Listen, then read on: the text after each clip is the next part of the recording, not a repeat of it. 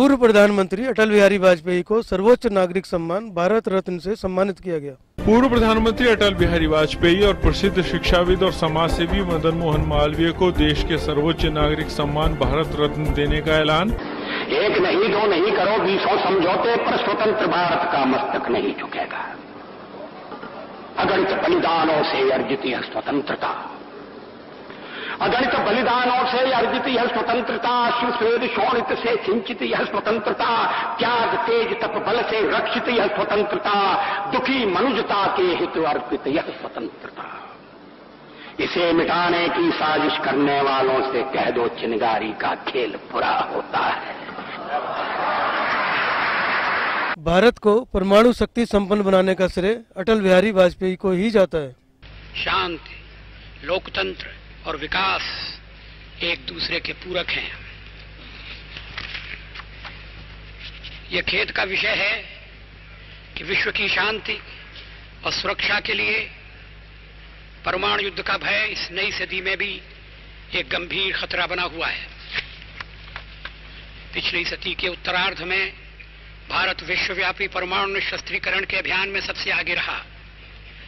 हमने इस संबंध में दुनिया के अन्य देशों के साथ अपनी आवाज़ बुलंद की, मगर उसे अनसुना कर दिया गया। इसीलिए 1998 में भारत को परमाणु हथियारों का विकास करने के लिए मजबूर होना पड़ा, क्योंकि परमाणु हथियार रखने वाले प्रमुख देशों ने परमाणु निशस्त्रीकरण की विश्वव्यापी मांग को लगभग अस्वीकार कर दिया था। इसके अलावा हमारे पड़ोस में परमाणु हथियारों के जमाव के कारण हमारी सुरक्षा को विशेष रूप से खतरा पैदा हो गया था। भारत ने अपने कटु अनुभवों से यह सीखा है कि शांति की रक्षा के लिए उसे शक्तिशाली होना होगा।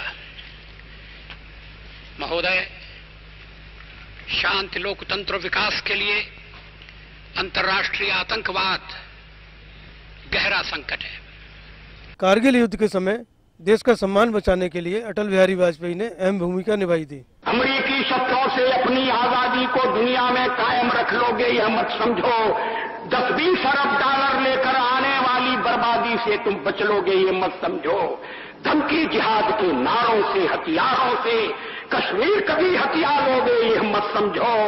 हमलों से, अत्याचारों से, संहारों से भारत का शीश झुका लोगे, यह मत समझो।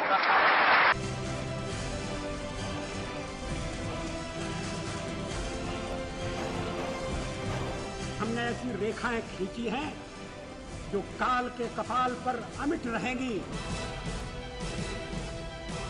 भारत रत्न जैसा सम्मान अटल बिहारी वाजपेयी के साथ साथ स्वर्गीय पंडित मदन मोहन मालवीय को भी दिया जा रहा है।